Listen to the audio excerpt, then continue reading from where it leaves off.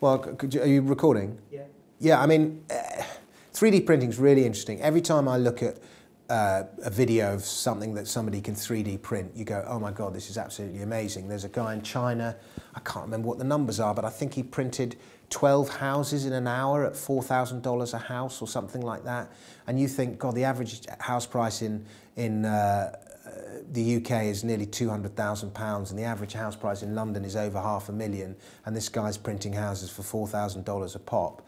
You know, that it's amazing. You can buy 3D printed guns, you can buy medical parts. Somebody did a 3D prosthetic hand for like $400 that was better than a $50,000 job. You know, it's, it's, there's all sorts of amazing applications, but you look at a chart of, you know, the, the world was going crazy for 3D printing you know, a couple of years ago, and the, there was a kind of hype cycle, a bit like Bitcoin or any other kind of tech. Everyone got all excited, it's going to change the world, and then the kind of, there was a little bubble, and then that bubble's burst, and we're in the kind of post-bubble contraction. So yes, I think 3D printing is incredibly exciting, but all the stocks involved in 3D printing are in a bear market, and I wouldn't buy them.